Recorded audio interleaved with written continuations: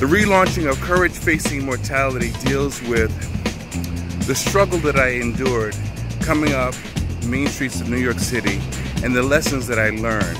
You know, in hindsight, that's where we get most of our lessons because we simply don't listen. Courage Facing Mortality has been rebranded, relaunched. There's a video series coming as well as the actual book, Courage Facing Mortality. Cancer wasn't my only obstacle